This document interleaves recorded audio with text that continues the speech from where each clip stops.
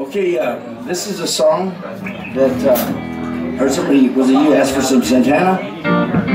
Anyway, so this is a. We also have a uh, a band called Supernatural, which is a Santana tribute band. And we just played at the Blues Festival this last last Sunday, I guess. But anyway, uh, so here's one of those songs, minus all the percussion. Just just Jimmy all, all by himself.